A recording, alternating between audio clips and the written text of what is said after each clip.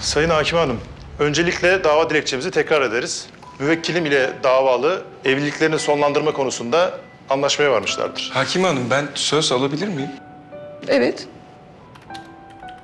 Ee, biz aslında çok uzun zamandır Mine Hanım'la zaten ayrı yaşıyoruz. Ee, çocuğumuzu kaybettikten sonra maalesef bir türlü toparlayamadık.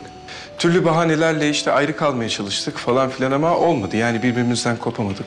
Ee, tabii hal böyleyken de boşa geçen bir sürü yılımız oldu. Ve ben yıllarımı boşa geçirmek istemiyorum. Kayıp zamanımın da arkasından bakmak istemiyorum.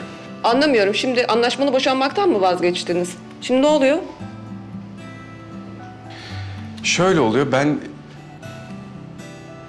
Ben eşimi seviyorum ve ondan ayrılmak istemiyorum. Hakim Hanım bu son gelişmelerden de benim şu an haberim oldu. Şimdi şöyle, Hakim Hanım ben de söz hakkı alabilir miyim?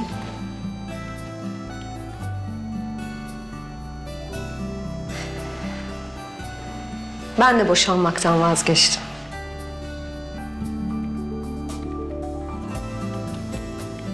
Ben de eşimi seviyorum.